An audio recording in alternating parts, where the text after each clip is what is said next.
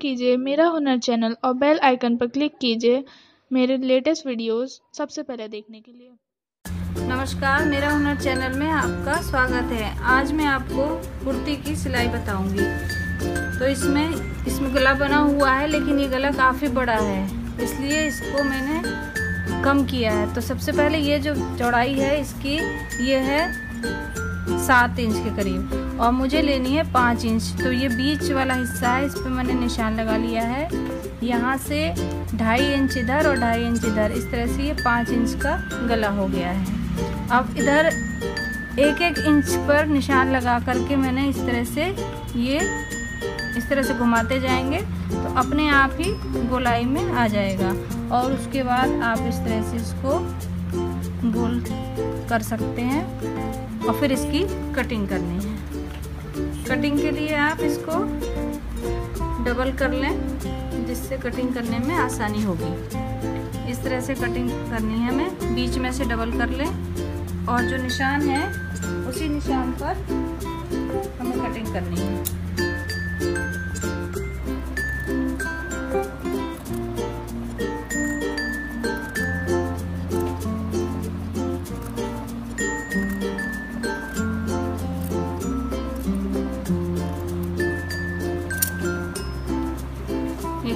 Cutting हो चुकी है।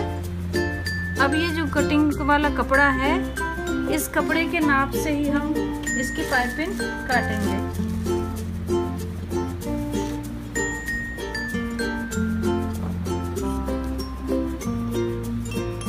ये कपड़ा है, इसी के नाप से हमें काटना है तो सबसे पहले हम इसको डबल कर लेंगे।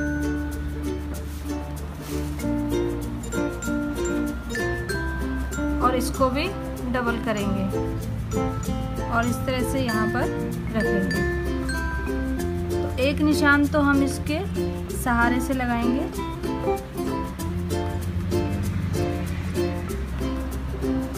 और एक इंच एक इंच का निशान चाहे आप नाप लें या फिर अंदाज से कर लें।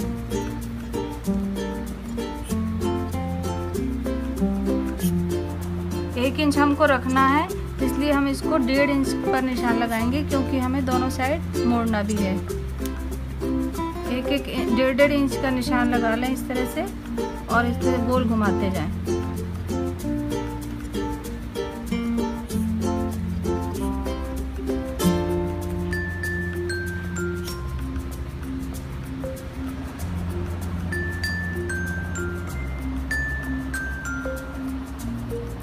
ये निशान लग चुके हैं। अब हमें इसको गोलाई में जोड़ना है।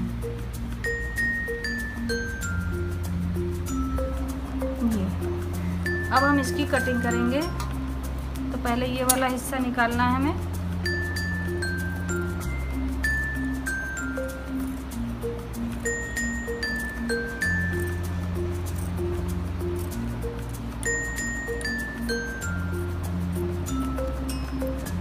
उसके बाद ये दूसरा निशान है, उस निशान से कटिंग करेंगे।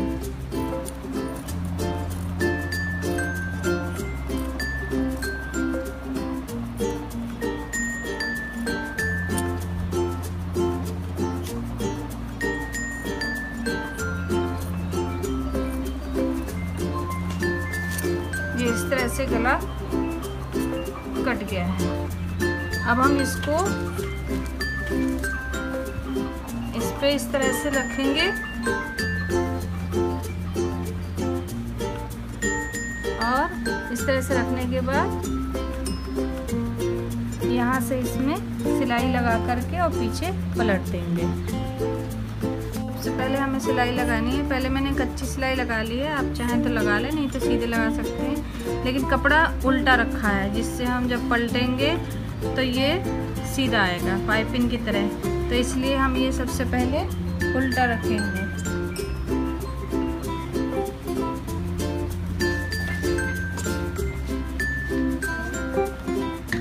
तो इस तरह से हम एकदम किनारे पर नहीं, बल्कि थोड़ा दूरी पर सिलाई लगाएँगे इसमें।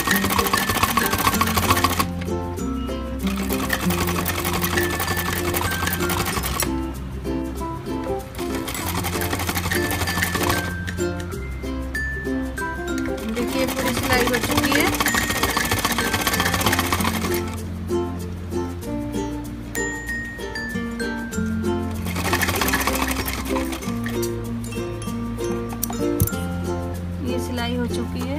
अब मैं ये कच्ची सिलाई हटा दे रही हूँ। अब हम इसको फोल्ड करेंगे पीछे की तरफ़। तो इसमें मैं इस तरह से फोल्ड करूँगी कि ये थोड़ी सी हल्की हल्की पाइपिंग की तरह दिखाई देगा। जितने में हमने सिलाई लगाई है, उस तरह से इसको अंदर की तरफ़ फोल्ड करना है।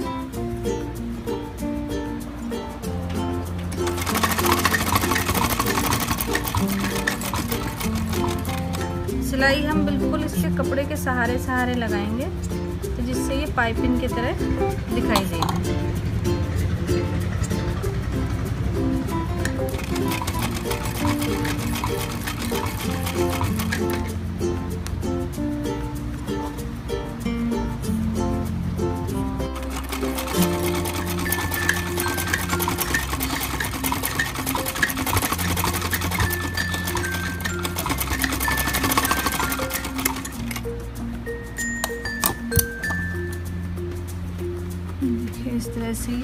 ये पाइपिंग की तरह लग चुका है। अब पीछे की साइड से हम इस तरह से फोल्ड करके और तुरपन कर देंगे। अब हमें बाजू बनानी है तो मुझे बाजू में इसकी डिज़ाइन लगानी है। तो सबसे पहले हम इसको यहाँ से सिलेंगे। ये सीधा हिस्सा है और ये उल्टा हिस्सा है। तो ये उल्टे, ये इसका उल्टा हिस्सा आएगा और इसका सीधा हिस्सा आएगा। इसको हम इस तरह से लगाएँगे। सिलाई लगाएँगे।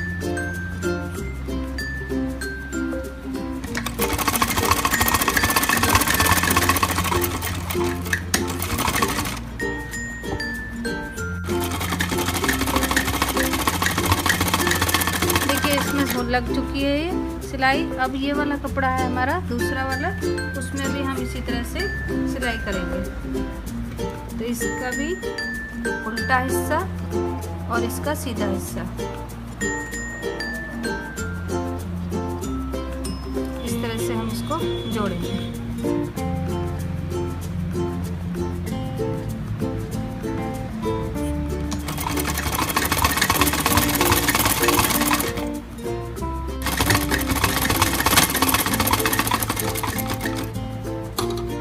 दोनों बाजू में सिलाई लग चुकी है। सिलाई लगा ली है मैंने।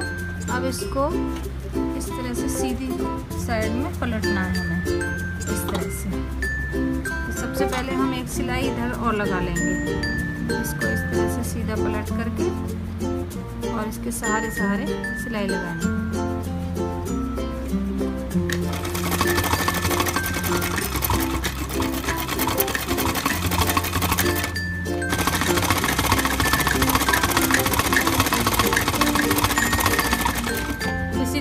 दूसरी बाजू में भी सिलाई करनी है।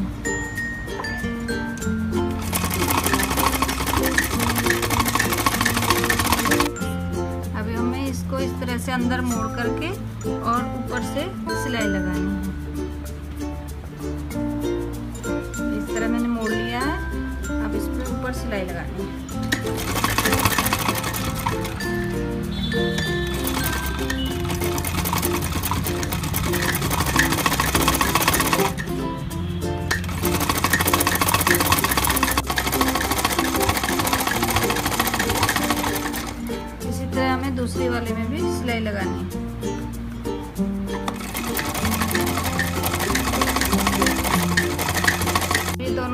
दोनों जो तैयार है, अभी हमें जोड़ने से पहले इसके जो बीच है डबल करके इसका जो कॉर्नर है, इसको हल्का हल्का कट कर देना, जिससे यहाँ पर हम कॉर्नर को जोड़ सकेंगे।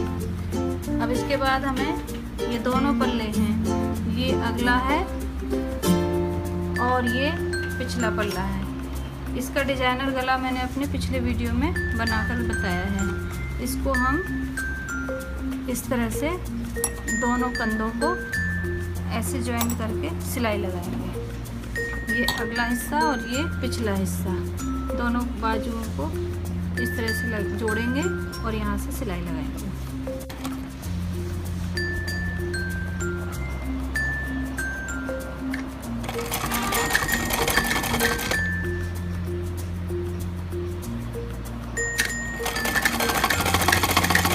रख करके और इस पर सिलाई लगानी है।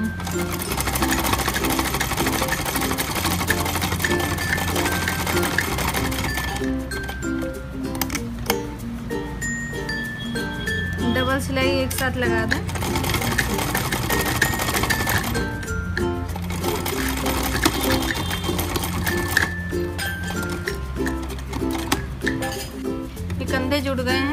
अब इसकी जो सिलाई है, इसी के जब हमने इसको डबल करके काटा था, ये कट वाले निशान को, और ये सीधा, ये भी सीधा, ये ध्यान रखना है। और ये जो कटिंग की थी, इसका भी ध्यान रखना है, ये आगे वाले हिस्से में ही आनी है। तो इसको, इस कट को इस सिलाई पर ही रखना है, बिल्कुल, और इस पर सिलाई लगानी है।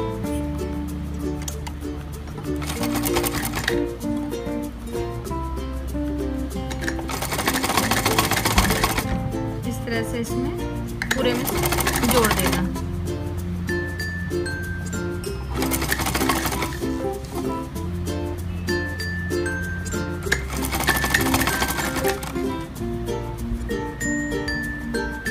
ये आधी साइड लग चुकी है। अब फिर हम आधे में इस तरह से आगे और जोड़ लेंगे।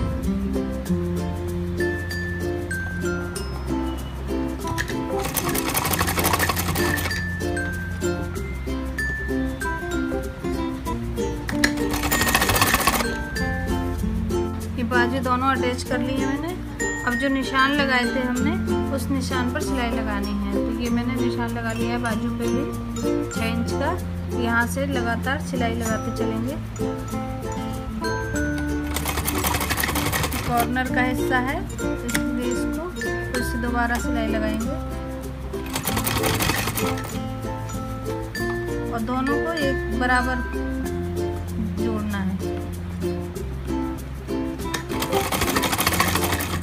लगाते जाएँगे।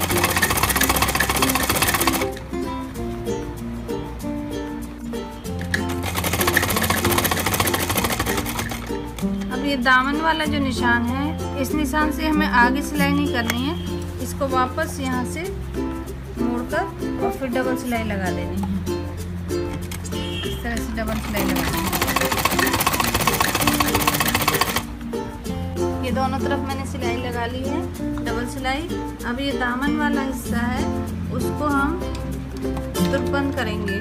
लेकिन आसानी होगी, इसलिए हम यहाँ जो निशान लगा हुआ है, इस निशान से इस तरफ़ मोड़ करके और एक कच्ची सिलाई लगा लेंगे।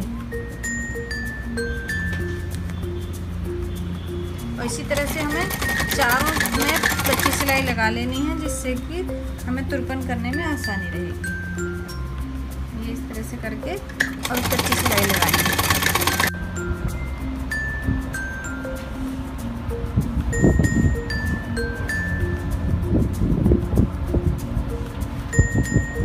देखिए, हमारी ये कुर्ती बन करके तैयार है। ये हमारा अगला हिस्सा। अब ये हमारा कुर्ती का पिछला हिस्सा है। ये हमारी कुर्ती पूरी तरह से तैयार हो चुकी है। अगर आपको मेरा वीडियो पसंद आया हो तो लाइक और सब्सक्राइब ज़रूर करें।